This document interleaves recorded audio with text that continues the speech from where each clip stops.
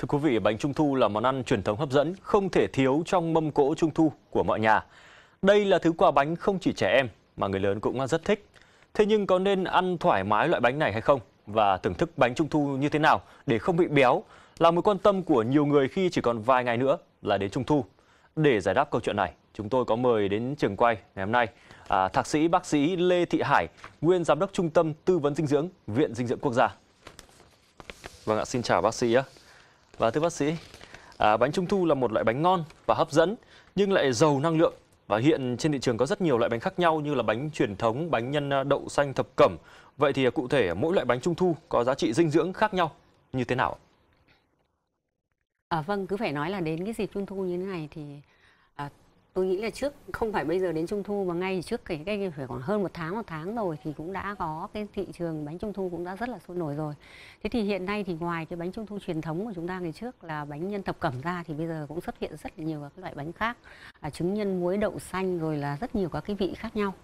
Thế nhưng nói về cái giá trị dinh dưỡng thì chúng ta đều biết là trong cái bánh trung thu thì nó gồm có hai phần bao giờ cũng có cái phần nhân và phần vỏ.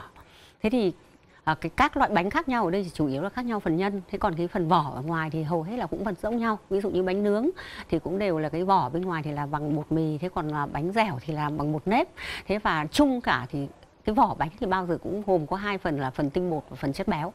Thế còn tinh à, và đường ngọt rất là nhiều. Thế còn nhân thì mỗi một cái loại nhân khác nhau thì nó thì trong các loại nhân đó thì chúng ta biết là cái nhân mà có mang nhiều năng lượng nhất đó chính là cái bánh tập cẩm. Bởi vì trong bánh tập cẩm thì bao giờ người ta cũng cho rất là nhiều thứ. Ví dụ như là cho bao giờ cũng có thịt mỡ này à, có lạp sườn này rồi có các bây giờ thì thêm các loại hạt này thế rồi là rất nhiều vào. Cái trứng muối thì nhân là trứng còn đậu xanh thì chúng ta biết rồi thì trong nhân đậu xanh. Nhưng mà thành phần thì cũng vẫn là đường rất là nhiều. Thế cho nên là à, tuy là cái mùi vị cái vị nó có thể khác nhau một chút thế nhưng mà nhìn chung thì hầu hết tất cả các loại bánh trung thu thì đều có một cái đặc điểm là rất ngọt chứa nhiều rất đường ngọt và thứ hai là rất là béo thế chính vì vậy cho nên là cái giá trị năng lượng ờ, cái thành năng lượng ở trong mỗi bánh trung thu là khá là cao thế chính cho nên là nếu như mà chúng ta ăn quá nhiều thì vẫn có thể gây nên cái tình trạng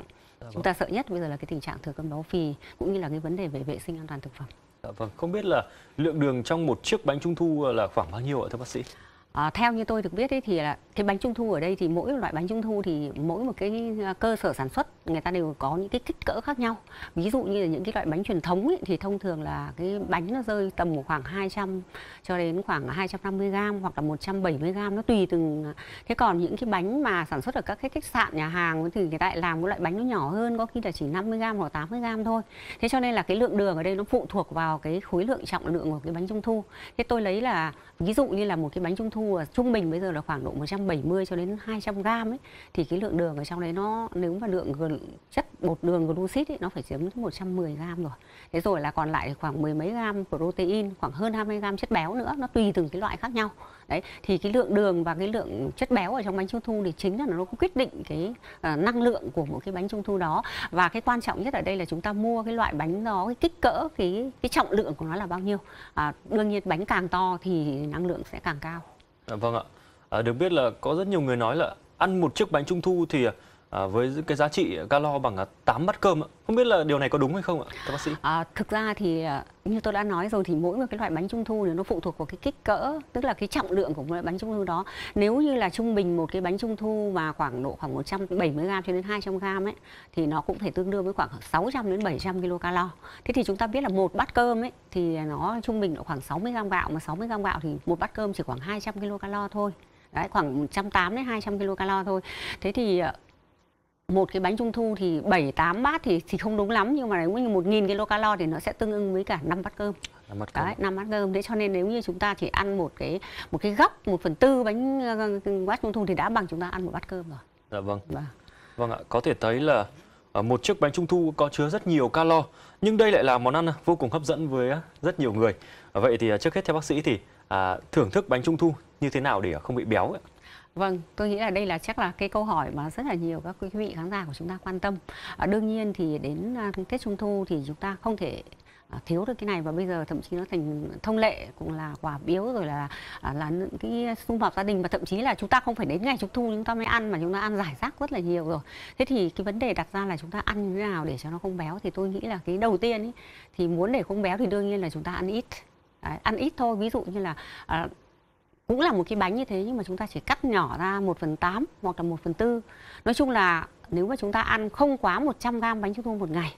thì nó sẽ ít gây cái tình trạng tăng cân. Và cái quan trọng thứ hai để ăn bánh trung thu không béo ấy, thì khi chúng ta ăn bánh thì chúng ta ăn giảm cơm đi. Ví dụ như hôm nay mà chúng ta ăn xong cơm mà chúng ta muốn tráng miệng một miếng bánh trung thu chẳng hạn thì ờ, đáng nhẽ ăn hai lưng bát cơm hai bát cơm thì chúng ta giảm bớt một bát cơm đi. Thế có nghĩa là như tôi nói là một cái miếng bánh trung thu thì ờ, một phần năm hoặc là một phần tám cái miếng bánh trung thu thì nó bằng một bát cơm. Thì nếu như chúng ta giảm bớt một bát cơm đi rồi sau đó chúng ta ăn một cái miếng bánh trung thu thì cái năng lượng nó bù vào thì cũng sẽ không bị tăng năng lượng sau bữa ăn. Đấy đấy là cái thứ nhất. Cái thứ hai nữa là ví dụ như khi ăn bánh trung thu thì chúng ta nên thường ăn kèm theo trái cây nữa. Đấy, ăn thêm rau quả trái cây nữa. Thế rồi là uống các loại trà thêm vào ví dụ như trà xanh hay là trà các thứ vào nữa thì nó cũng làm tăng ấy thì nó cũng làm giảm bớt đi. Nhưng mà à, tóm lại thì muốn không béo thì đương nhiên là chúng ta ăn có giới hạn có mức độ. Và thứ hai nữa là khi ăn thì chúng ta có thể ăn giảm những cái à, khẩu phần ăn những cái món ăn mà trong thường ngày chúng ta vẫn ăn đi thì để làm sao mà cái tổng năng lượng chúng ta ăn vào trong ngày nó không bị tăng lên thì chúng ta không bị tăng cân.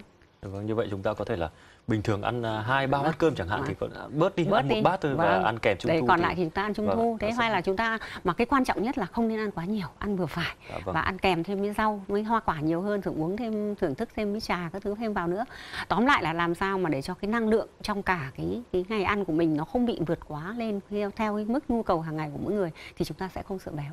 Vâng ạ. Và nhiều người cũng cho rằng là trong ờ, vài ngày hay là trong mùa trung thu ấy, thì ăn vài chiếc bánh có lượng calo cũng ờ, chả sao cả và quan điểm của bác sĩ về vấn đề này như thế nào và liệu việc ăn quá nhiều đồ ngọt, ờ, đồ tinh bột và đường ạ trong 1 cho đến 2 tuần có thể gây ra những ảnh hưởng gì tới sức khỏe của mình ạ? À, phải nói là cái, cái quan niệm mà có một số người là năm mới có một à, Tết Trung Thu thì thôi cứ xả láng đi đúng không ạ? Thế cho nên là nhiều khi nhưng mà như là tôi nói rồi bây giờ người Việt Nam của chúng ta thì không phải đến ngày Trung Thu chúng ta mới ăn bánh, Trung Thu mà có khi còn ăn trước đây cả tháng rồi mà cứ, cứ kéo dài lai dai lai dai như vậy. Và chúng ta cứ nghĩ là một à, mà vài ngày hay một vài tuần ăn một nhiều một chút thì cũng chẳng sao. Nhưng mà thực ra thì không phải là như thế. À, dù chỉ có một hai tuần chúng ta ăn thôi nhưng mà nếu chúng ta nạp bánh trung thu thì cái hàm lượng đường hàm lượng chất béo rất là cao. Mà nếu chúng ta nạp nhiều quá vào như thế thì vẫn có thể gây nên cái tình trạng rối loạn chuyển hóa. Và rất nhiều trường hợp những cái người nhất là đặc biệt những cái người mà có cái nguy cơ đang rối loạn dung nạp đường huyết rồi đang có nguy cơ bị đái tháo đường mà chúng tôi gọi là rối loạn dung nạp đường huyết hay là tiền đái tháo đường ấy, thì có khi chúng ta chỉ ăn một vài ngày thôi cũng có thể làm đường huyết tăng vọt lên và có thể đáng nhẽ chưa đến bị đái tháo đường thì có khi đã bị mắc đái tháo đường đấy thế chính vì vậy cho nên là tôi nghĩ là chúng ta đừng nghĩ như vậy mà à, dù là chúng ta ăn có thể ăn nhưng mà đấy như tôi nói là chúng ta ăn số lượng vừa phải. Và thứ hai là nếu đã ăn bánh trung thu rồi thì chúng ta giảm bớt khẩu phần cơm hoặc giảm bớt khẩu phần các thức ăn khác đi. Chứ chúng ta không nghĩ là chứ còn ăn có thể thậm chí một vài tuần hay một vài ngày thôi nếu mà cái lượng calo chúng ta nạp vào quá nhiều nhất là lượng đường nạp vào quá nhiều thì vẫn có thể gây nên tình trạng rối loạn chuyển hóa và đặc biệt là cái rối loạn dung nạp đường huyết vẫn có thể gây nên những cái tình trạng có thể bị à, rối loạn rồi dẫn đến bệnh đái tháo đường. Dạ vâng, như vậy thì ngoài việc à, chúng ta ăn quá nhiều chúng ta có thể giảm bớt khẩu phần ăn à, khác còn lại ngoài ra cũng có thể là à, tập luyện thể dục thể thao thường xuyên Tăng để nữa, vâng, vâng. để cải thiện là sức khỏe của mình. Và hiện nay thì trên thị trường có những loại bánh quảng cáo là dành riêng cho người tiểu đường, người ăn chay, à, không béo. Liệu với những loại bánh này thì chúng ta có thể ăn thoải mái được hay không ạ? Vâng, à, thì bây giờ để đáp ứng cái à, thị yếu của người tiêu dùng, mà nhất là những người tiêu dùng, nhất là chúng ta biết là có rất nhiều mắc các cái bệnh, ví dụ như là bị đái tháo đường này, hay là những cái người bị thừa cân béo phì này. Thì ở trên ờ, các cái công ờ, những cái nhà sản xuất người ta cũng đã nghiên cứu sản xuất ra những loại bánh trung thu để dành, gọi là bánh trung thu ăn kiêng, dành riêng cho những người này. Thế nhưng mà như tôi đã nói rồi, dù là bánh ăn kiêng,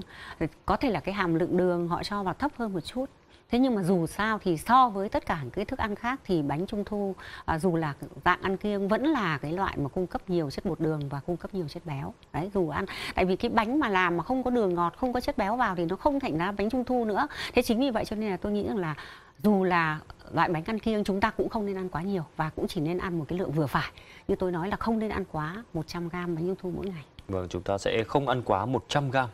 bánh trung thu mỗi ngày. Vâng. Và cận kề Tết Trung thu rồi, à, thời gian gần đây thì à, lực lượng chức năng cũng liên tiếp phát hiện các loại bánh à, trung thu nhỏ à, giá vô cùng rẻ và chỉ ở vài nghìn đồng, bảo quản được lâu nữa. À, điều này có tiềm mẩn gì đến sức khỏe của bản thân người tiêu dùng không ạ? Vâng, à, phải nói rằng là à, năm nào cũng vậy, cứ đến dịp Trung thu thì cơ quan chức năng là lúc nào à, trên thông tin à, bản thân tôi tôi cũng theo dõi đọc thì phát hiện ra rất nhiều những cái bánh ờ, trung thu giả, gọi là bánh trung thu không rõ nguồn gốc xuất xứ, bán trôi nổi trên thị trường. Thế thì những cái loại bánh trung thu này chúng ta biết là sợ nhất ở đây là cái vấn đề về cái chất lượng về vệ sinh an toàn thực phẩm. Nếu không rõ xuất xứ nguồn gốc thì cái nhân bánh ấy là cái nguy cơ là có thể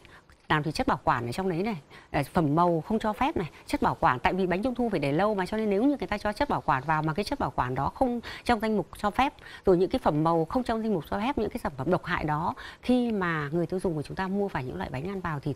tiền ẩm rất nhiều nguy cơ để ảnh hưởng đến sức khỏe. Trước hết nếu như là bánh bị mốc rồi chẳng hạn à, hay là cái nhân bánh nó bị bị hỏng chẳng hạn thì ăn vào đầu tiên là cái ngộ độc cấp có thể bị rối loạn tiêu hóa rồi có thể bị tiêu chảy ngộ độc thức ăn thế nhưng mà à, hầu hết thì những cái chất độc hại đó có thể là dần dần nó không phát ngay nhưng nó sẽ ngấm vào và ảnh hưởng đến rất nhiều các cơ quan trong bộ phận cơ thể của chúng ta nó hủy hoại từ hệ thống thần kinh do gan do thận và thậm chí nguy hiểm lâu dài hơn có thể dẫn đến tình trạng ung thư. Thế chính vì vậy cho nên là tôi nghĩ là những cái bánh mà không rõ nguồn gốc xuất xứ mà bán trôi nổi trên thị trường thì tôi nghĩ là những cái lái chúng ta không nên mua bởi vì ăn vào thì sẽ có rất nhiều nguy cơ tiềm ẩn ảnh hưởng trực tiếp đến sức khỏe của người tiêu dùng. Vâng ạ. Và lời khuyên khuyến cáo của bác sĩ là gì để ờ, có một mùa trung thu an toàn? Khi trong giai đoạn hiện nay thì rất nhiều người tiêu dùng đang uh, có cái xu hướng là mua bánh trung thu online đó. Vâng. À, thì dù bây giờ chúng ta biết là cái mua bán trên thị trường bây giờ thì rất là nhiều người chúng ta bây giờ là mua bán online rất là nhiều nhưng mà dù là mua online hay là chúng ta mua trực tiếp thì đầu tiên các bạn mua các bạn phải chọn những cái nhãn hàng những cái công ty mà sản xuất có uy tín trên thị trường đấy đã có truyền thống lâu năm trên thị trường được cấp phép của cơ quan chức năng và đặc biệt là cái bánh trung thu đó phải rõ xuất xứ nguồn gốc thành phần giá trị dinh dưỡng ở trên cái bánh trung thu đó vâng. phải ghi rất là rõ thời hạn sử dụng vâng. đấy, chúng ta phải rất là quan tâm đến những cái điều đó thế và một cái điều nữa là đấy thì à, chúng ta rất là lo là ăn bánh trung thu vào thì vâng. sợ tăng cân à, rồi sợ sợ những cái đấy thì chúng ta ăn vừa phải vâng. và thứ hai nữa là khi ăn thì chúng ta ăn giảm giảm bớt cái lượng thức ăn vâng. trong ngày ví dụ nhất là cơm chúng ta ăn giảm bớt đi và ăn cùng với các cái loại rau à, rau rồi ăn tăng cường thêm trái cây cái thứ nữa vào vâng. thế thì để làm sao mà chúng ta vẫn giữ được cái mức năng lượng đúng theo nhu cầu để tránh cái dạ, tăng vâng. cân và để cho một cái à, vâng. hưởng một cái tết trung thu nó an toàn dạ. tránh những tình trạng phải ngộ độc thức ăn hay là những cái nguy hiểm đến sức khỏe sau này vâng, xin được cảm ơn bác sĩ và những thông tin chia sẻ vừa rồi của thạc sĩ bác sĩ Lê Thị Hải cũng đã khép lại chương trình à, chào buổi tối ngày hôm nay. Cảm ơn quý vị và các bạn đã quan tâm theo dõi. Kính chào tạm biệt và hẹn gặp lại.